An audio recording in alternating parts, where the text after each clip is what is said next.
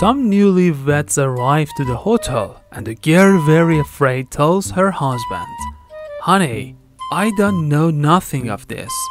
Can you help me, please? I will, honey. Starting from this instant, we will call your thing the prison, and we will call my thing prisoner. So, we will put the prisoner in the prison. And they threw the first one and the guy is laying face up on the bed.